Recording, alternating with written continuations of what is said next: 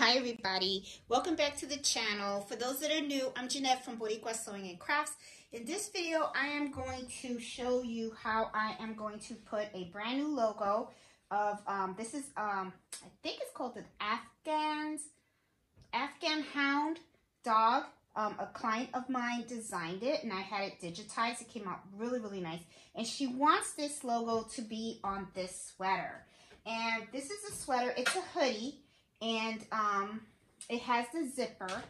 Okay, so it's kind of like a jacket and stuff. So really cute. So let me show you how I'm actually going to do this. Okay, now of course I am not going to open up the um, the jacket. I'm actually going to hoop this as is with you know with the zipper closed on top of the hooping station. I also want to talk to you a little bit about if you have a single needle machine how would you go about um, hooping this item so that way you can do it on your SE1900 as well, okay?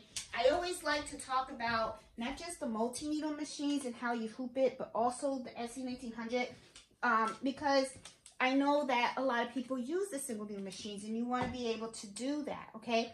Now, one of the things that you can do is I use the software Embrilliance.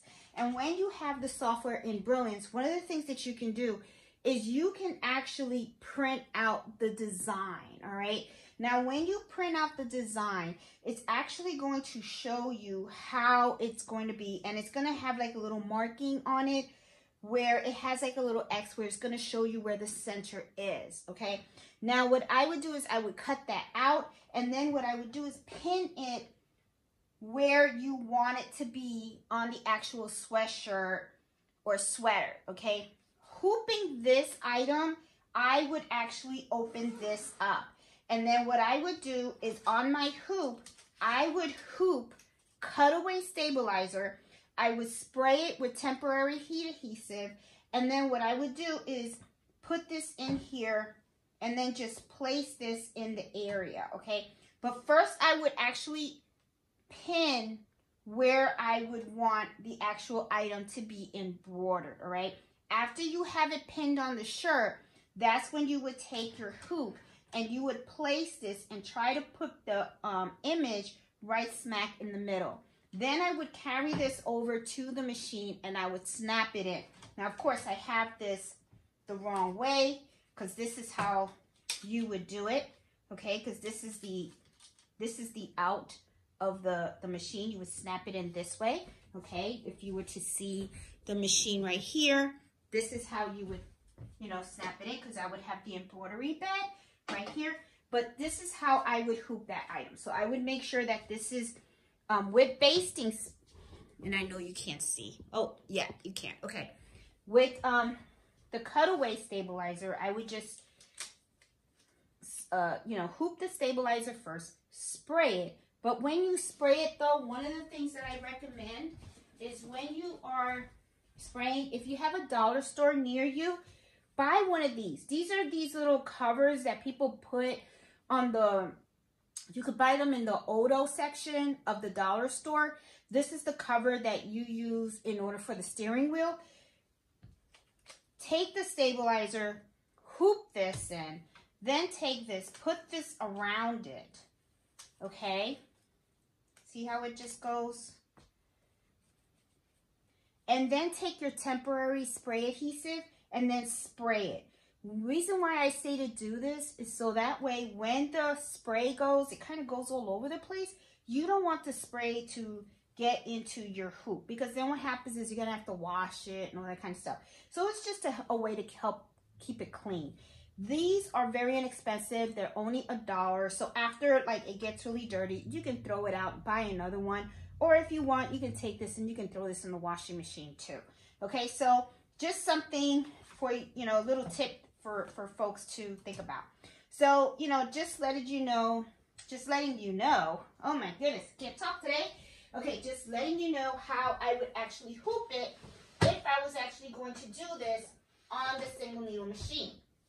And it's not just the SE1900. It could be any other single needle machine that you have.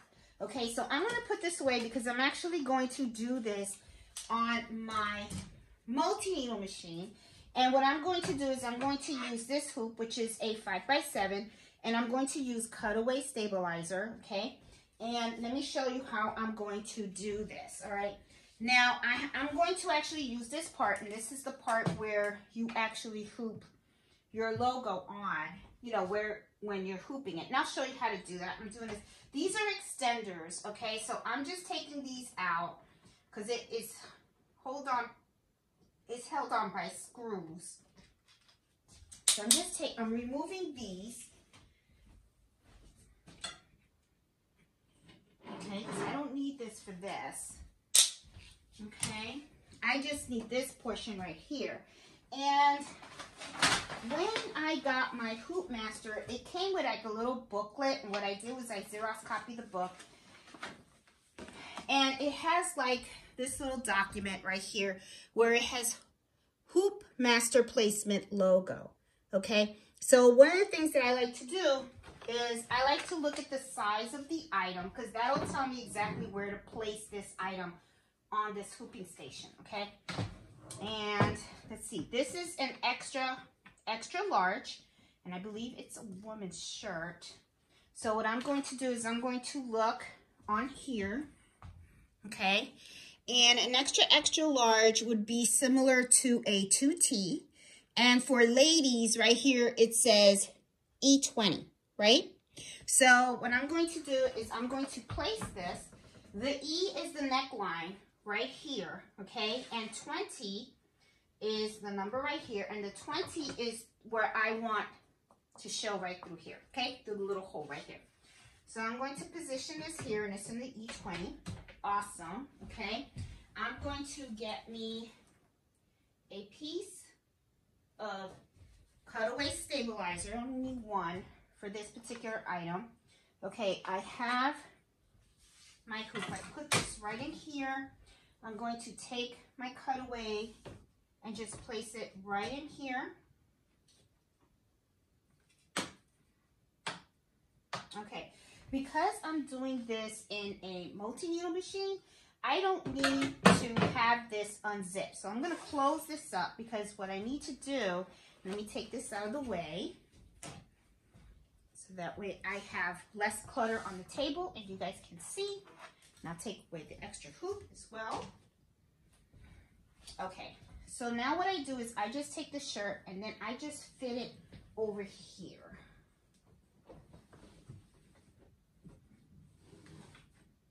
Okay. Now the neckline, and I forgot about the neckline. Let me look on the thing again. Um, the neckline on a 2T is E20. So this neckline should be in correlation to these little edges right over here. And I don't know if you see them. I don't think you do. So let me just take this over. I had the camera plugged in, sorry. Okay, so just so that you guys can see what this is, these have these little things that say A, B, C, D, E, F, G, H, I, okay? So when you see that it says E20, okay, if you notice right here, and I already have it covered, see how the, the zero is on the 20? So this is where it's supposed to be when I pluck it in. And then now that I have this on here, okay, when you look at the neckline, the neckline should be over here where the E is. So that means I got to pull this up right around here. This is where it should rest. The zipper should be in line with this line, okay? So I just have to make sure that it is, you know, just put in correctly. So I'm going to place the camera down because I need both hands for this now because see, as you can see, it's kind of like crooked right now. So, um, all right, let me put this in here and you just put it in neat. Take your time. Don't rush. You know, um, as with all type of hooping and stuff like that, you don't want to rush. Um, you always want to take your time so that you can hoop things neatly and correctly. And I don't know if you guys noticed. Do you guys see this? See how I kind of like bunch it up at the bottom? Okay, this is just an easy way that I use to make sure that everything is nicely lined, okay? And if you can see right here, um, let me put it on here. See how it is? It's aligned with the E. Okay, my zipper is going straight down. All right, and it's nice and neat. Okay, and once I have this situated exactly where I want it, I'm just going to make sure that it's perfect. Um, all right. I always like taking my time. I don't like rushing and stuff like that because I like to enjoy what I'm doing. All right. Good. I have everything perfect. Now what I'll do is I'll just take this and you have these little slits. You know, it has the little three things. This is going to get caught in here. Okay? In all of them. That's what it fits right in here. Okay? And stuff. Then what you do is like, this is the part that I love. You just go like this. And there you go the logo is going to be right here. So now all I have to do is just take it, pull it out, and I'm good. Just to take it over to the machine. Everything is nice and taut and ready to go. Isn't that cool?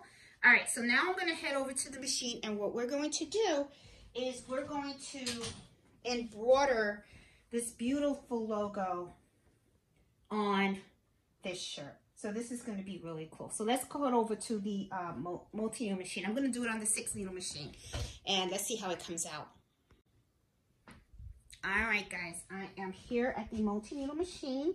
And, you know, at this point, now that this is already, you know, in there, what I can do if I want to, I'm going to put this in through. I can actually unzip this if I feel like it. You know, if I feel that it's something that I want to do, I can do that. Or if not, I can leave it as is. But the thing is, see how this machine has like an arm? Do you see that? No, I don't think you do. Well, anyway, here, there you go. This is the arm, okay? And this is the thing. You want to be able to put this around this, okay? You don't want to put the whole thing on top of here because what's going to happen is you're going to sew the back to the front. Okay, so what you do is you just place it in here.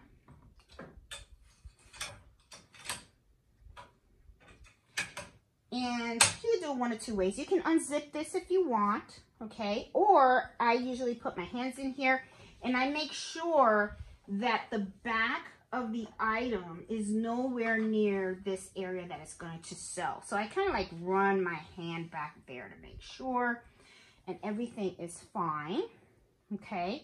And it's good to go. And then what I'm going to do is I'm going to select my design and as you see, I, I just selected it. Looks good. Um, I already have my black thread on my first needle. So I'm going to hit set. And then I'm going to hit end edit. And it's perfect. And then I'm just going to do a little trace. I always do this because I just want to make sure. And I don't know if you guys see it. There is a little red dot over there. And I just like to do that because I want to make sure that the needle is not going to hit the side of any of these magnetic hoops. You always want to double check that because you just never know. Remember, magnetic hoops is not a brother product. It's actually from a third-party vendor, and they do make these hoops for the machine, but sometimes, you know, you want to make sure that your design actually fits in there because you don't, the last thing you want is for your needle to hit the side of these, of these things, and then you do some damage to your machine, okay? So anyway, I'm going to hit embroider and I'm going to let this baby embroider and it's going to come out really cute. So let's go.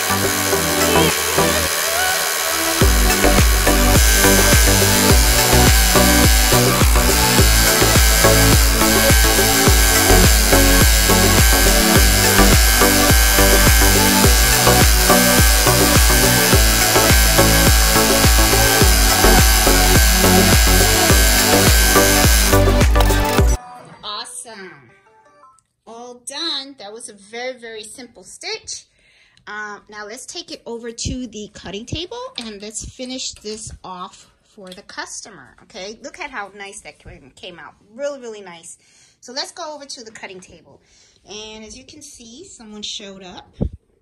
Here's Mello getting in the way as always, right in front of the cutting table. He always knows exactly where I need to go. So every time he shows up, it's like he knows where I need to go. So, Boo Boo, I need you to move. Thank you. Appreciate you.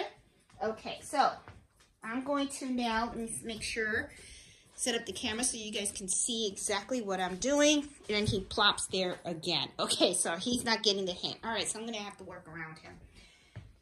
All right, so I'm going to take this off. I'm going to open up the zipper, take out the bottom.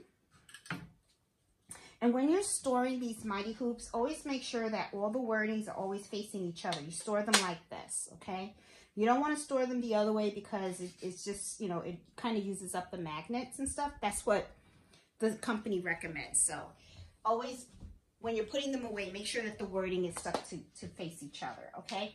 So now let me close this up because I just want to take a look at it and see how it, it turned out. Let's see this here. Really, really nice. Perfect. Looks good. Awesome. Great placement. Great placement and everything. Looks really, really nice. Okay. So now we're not done yet though because I have to cut around it. Okay. So what I'm going to do is I'm going to open this up. And as you can see, you have your stabilizer here. So what I usually do is I cut around the image, but you don't want to cut close to these stitches, okay? You see everything. Yeah, you can. You don't want to cut close to the stitches, all right? So what I usually do is I like these scissors. These are uh, Fisk Fiskars. Fiskars scissors. Let me see if I can make it so that you can see. Because you know my English. There you go. See Fiskars stainless steel. I like these to cut the uh, the stabilizer. So, so this is how usually I cut. As you can see, um, well, you'll definitely see when I'm done. As you can see, I always leave some spaces in there. You don't want to cut too close to the stitches. That's a no-no, okay? You don't want to do that. And be careful you're not actually cutting the item also, because I have done that in the past, okay?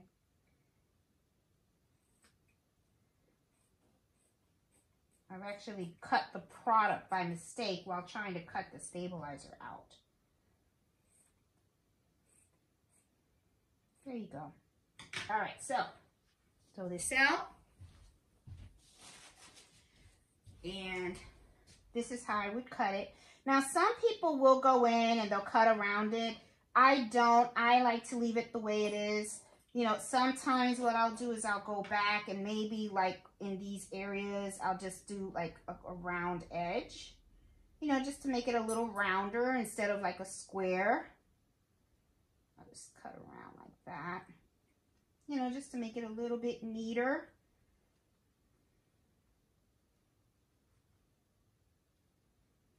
You know, just to cut around, you know, that's all, just so you don't have those points.